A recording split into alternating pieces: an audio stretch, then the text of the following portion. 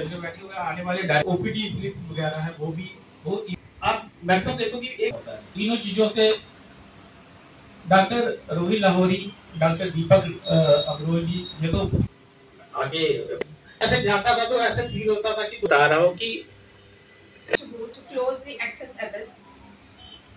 Sorry. किया इस panel discussion को मॉडरेट करने के लिए सबसे पहले मैं थैंक्स करता हूँ डॉक्टर अनिल दर्जी का और अ, अनिल दर्जी का और रोहित जंडियाल जी का कि फॉर योर काइंड वर्ड्स वो दोनों ही मेरी सिस्टर्स की तरह थी। और हमें भी बहुत दुख होता जब हम कोई पेशेंट लूज करते हैं। कुछ सा टॉपिक है। अभी भी डॉक्टर रोहित लाहौरी ने जैसा कि गांधीनगर हॉस्पिटल को एक एपी सेंटर बनाया है पैलिएटिव केयर के लिए लेकिन पेरिफेरल डिस्ट्रिक्ट्स में और even amongst medicos somehow this is a misunderstood सा टॉपिक हम पैलिएटिव केयर से जानते क्या है? क्या इस, इसको एक इंटरेक्टिव बनाते हुए डिस्कशन को, क्या मैं पूछ सकता हूँ कि आप में से कोई बता सकता है पैलिएटिव केयर क्या है? What is palliative care basically what is the definition of how how do you define palliative care कि पैलिएटिव केयर क्या है? वो भी लाइफ कंज्यूमिंग डिजीजेज हैं, जो एंड स्टेज में केयर दी जाती है, उसको पैलिएटिव केयर कहा जाता है। पूजा जी बहुत अच्छा सवाल पूछा आपने। जैसे मैंने आपको कहा कि रेजोल्यूशन ही है इस साल का कि हम 10 साल में कहाँ तक पहुँचे हैं। तो हमारे पास तो 10 साल का वक्फा ही नहीं मिला। 2014 से हमने 10 साल कवर करने थे। और हमें 2018 से टाइम मिला। 2018 से स्टार्ट करके 2019-20 फिर कोविड खा गया हमारा। और तकरीबन तकरीबन छः साल में हमें सिर्फ़ चार साल का टाइम मिला रेजोल्यूशन तक पहुँचने के लिए।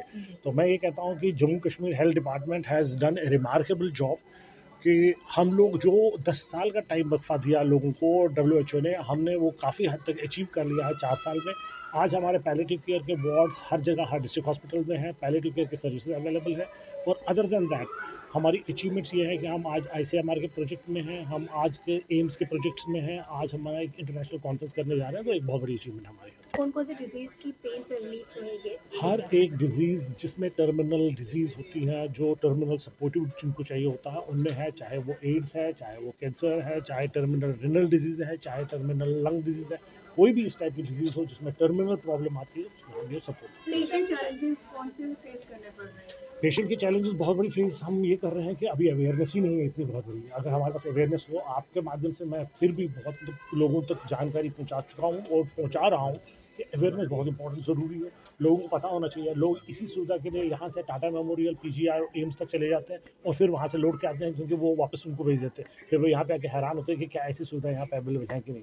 तो मैं ये समझता हूँ कि आपके माध्यम से ये ज़रूर जाना चाहिए कि लोगों की इस टाइप की सुविधाएँ जो है वो हमारे पास खास तौर पे गांधीनगर हॉस्पिटल में और अदर देन दैट बाकी हॉस्पिटल में भी अवेलेबल हैं और ये सुविधाएँ जो है इनका यूज़ करना चाहिए। पेशेंट्स के साथ डील करने में कितनी मुश्किल होती है?